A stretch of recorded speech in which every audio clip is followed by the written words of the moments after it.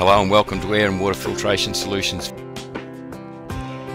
video 4 of 6 demonstrating selected filtration solution for medium cooking with discharge at roof or street level with recirculated make-up air.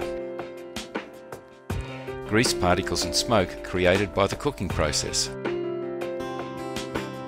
Honeycomb filters fitted inside the hood collect the larger particles of grease.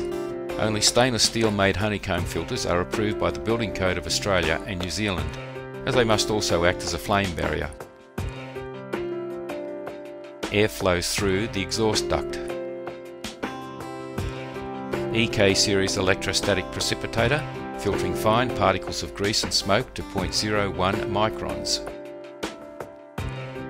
Aerovent inline centrifugal fan, quiet and powerful.